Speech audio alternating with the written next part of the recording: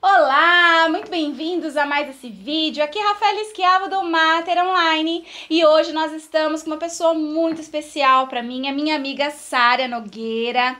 Ela é mestre em Psicologia do Desenvolvimento e Aprendizagem, quase já concluindo seu doutorado também nessa área.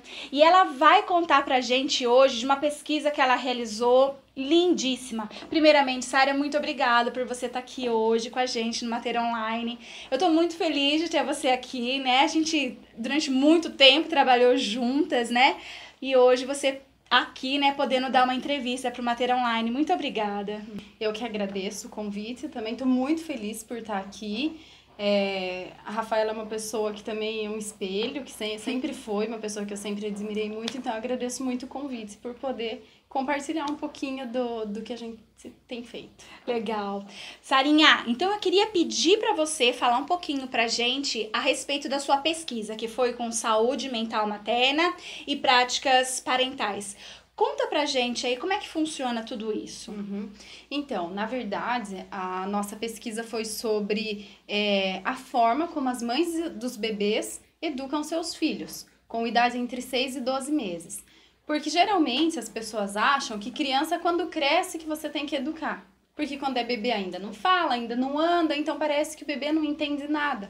Né? Então, é, considerando que eles já interagem com o ambiente, com as mães, com as outras pessoas, eles já começam a aprender os comportamentos que vão ser modelados com o tempo, então ali é, já precisa, já, a gente já precisa olhar para essa faixa etária, para essas mães, para esses bebês e para essa interação. Com certeza. Né? Olha só, gente, que importante que a Sara tá falando, né? Então a gente não educa o bebê depois que ele cresce, né? A criança, mas é desde bebê. Desde bebê. E aí, por conta disso, nós fizemos uma pesquisa com os bebês de 6 meses a 12 meses, que participavam de um projeto que ocorre na Unesp de Bauru. E, e as mães foram entrevistadas para falar sobre a forma que elas educavam os filhos e também sobre a própria saúde emocional. Sim. especificamente da, da, depressão, ansiedade e estresse. Então a gente mediu, né, através de instrumentos próprios, o quanto de estresse aquela mãe tem, de ansiedade, de depressão, e comparamos todos esses dados, associamos todos esses resultados com as práticas educativas que elas tinham, ou seja, com o jeito que elas educavam os bebês. Certo. Né? E aí, como eu vou falar assim de principal resultado que o que a gente notou, mas, por exemplo, as mães que têm níveis de ansiedade mais altos, de depressão mais alto, que são mais estressadas, hum. elas, por exemplo, punem mais os seus bebês. Olha só que interessante. Sim. Então, o que isso significa? Que as mães que, que têm essa saúde emocional mais é, prejudicada, né? Uhum. Que acho que a gente pode falar dessa forma, elas é, talvez se irritem mais fácil com a criança, então elas, se elas estão irritadas, elas já batem, elas já xingam, não necessariamente por algo que a criança fez, mas porque o humor delas está alterado naquele momento. Certo. Né?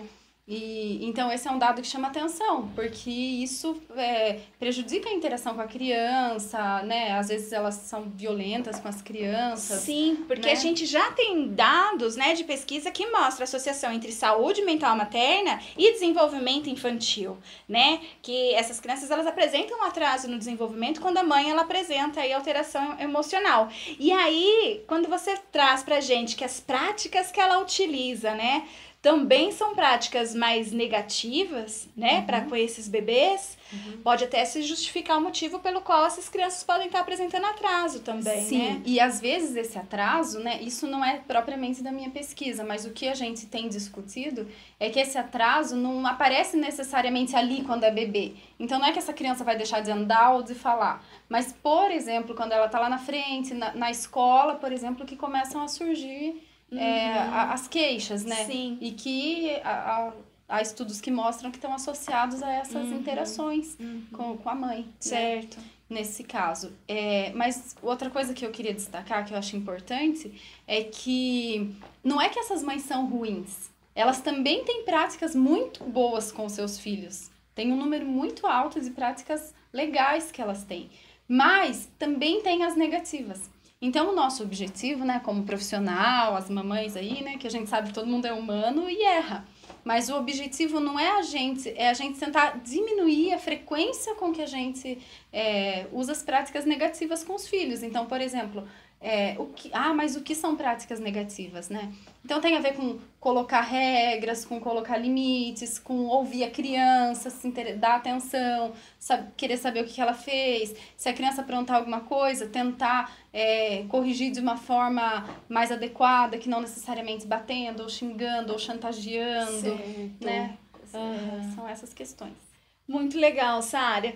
Tá aí então para vocês informações preciosas, super importantes, né, para que a gente possa cuidar cada vez mais da saúde mental dessas mulheres, né, aí principalmente na gestação e pós-parto, né, para que elas possam inclusive oferecer uma boa prática parental, né? Uma boa prática materna aí para os seus bebês, evitando aí então que eles apresentem atraso no desenvolvimento e também para aquelas que apresentam problemas de saúde mental nessa fase, nós sabermos então que é importante fazer uma intervenção Sim. né? Transformando essas práticas negativas em práticas positivas, porque elas estão abertas, né? A receber Sim. essa intervenção, Sim. né?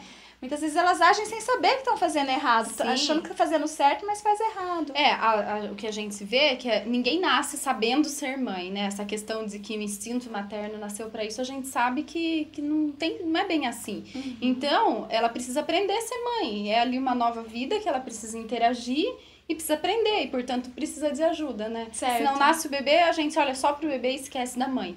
Então a gente tem visto cada vez mais o quanto é importante cuidar dessa mãe. Também. Perfeito. Sária, muito obrigada pela sua participação aqui no Mater Online. Com certeza enriqueceu muito mais o conhecimento aí de todo mundo que nos acompanha. Eu que agradeço. Obrigada.